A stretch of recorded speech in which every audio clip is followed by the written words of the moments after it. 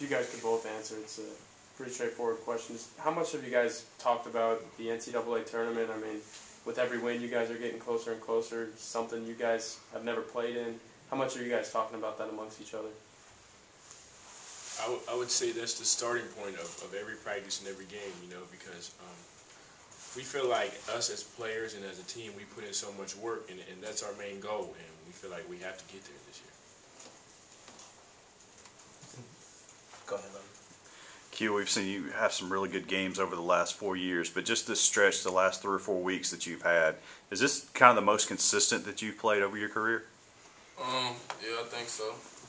Just being able to get in that position, my teammates um, doing a great job, getting me open shots and finding me when I'm open. So I credit all that to them, and we're just gonna try to keep winning games. Has there been a difference in your mentality, or you know how aggressive you choose to be, or is this just happening as a result of hard work over the course of four years?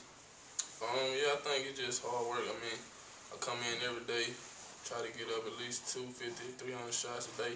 So I think it's just paying off for me right now. Just when I get the open shots, I'm knocking them down. Aric, I'll, I'll ask you about somebody else there, the guy sitting there beside you too, while he's talking about himself. But have you noticed anything different out of Q? Does he still prepare the same way? Uh, what- What's in your in your vantage point? What's led to him to have so much success during this stretch? I mean, I, I would just say he, he's being more aggressive just because he sees his opportunities. You know, he's not, you know, he's not doing anything out of the ordinary. It's nothing different. You know, it just, I feel like the game has just opened up for him because we have so many scorers on our team. We have so many threats. So now it's easier for him to, to do what he does best. Aric, last time y'all played South Carolina, they had a really big game inside with Kotsar and Silva. Just how do you prepare for those guys facing them a second time this year? Uh, I would say just just getting ready to um, prepare for a battle. You know, um, I feel like uh, we didn't prepare good enough for that, or we wasn't ready mentally. You know, but now with the second go around, we, we already know the aspects, and we know how the game's going to go from the jump. Any questions for the players? We'll get the microphone to you guys. Go back to Tyler.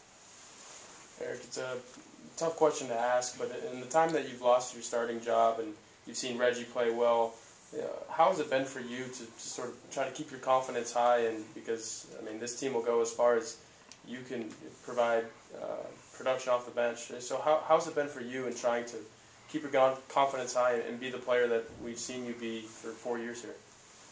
Um, I would say it, it's been tough, you know, but um, I'm going to stay positive about it. And as long as we're winning games, that's, that's all I can ask for, you know, because this is a team team game at the end of the day.